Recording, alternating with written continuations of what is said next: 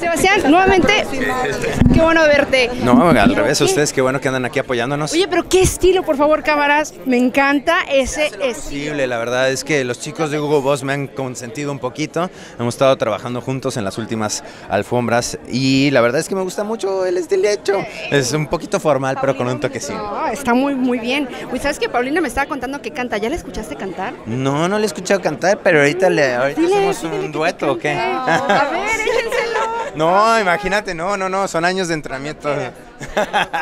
Este, sí, eh, pues no sabía que cantaba, pero pues bueno, yo tampoco sabía que cantaba y ahí estoy en un musical, así que pues todo muy bien. Uy, y afinas muy bien la garganta. Pues hace lo posible, la verdad, no, no soy un gran cantante, pero... A lo mejor este, un disco pronto.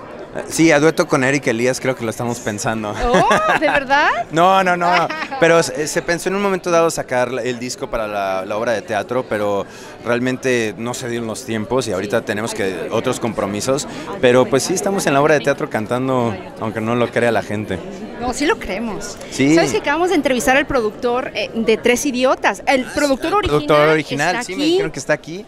¿Estás que- nervioso? Pues sí, obviamente, creo que Tres Idiotas allá fue una- un fenómeno y justo me estaban platicando, me enteré aquí atrásito que, que él estaba acá y que estaba muy emocionado por ver la película, entonces ojalá que se vaya con un buen sabor de boca a nuestro trabajo. Sebastián, ya me estás diciendo que ya, me- ya te tienes que ir, pero cinco cosas que no sabemos de ti. Cinco cosas que no saben de mí, le tengo miedo a las alturas, eh, me gusta cantar en la regadera, pero se me va el agua.